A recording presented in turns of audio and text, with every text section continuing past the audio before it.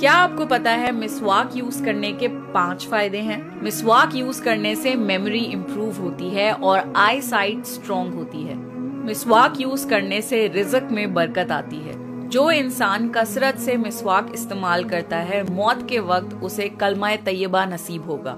जो नमाज़ मिसवाक इस्तेमाल करके पढ़ी जाए, उसका सवाब सत्तर गुना ज़्यादा बढ़ जाता है। Please follow me for more such Ramzan special videos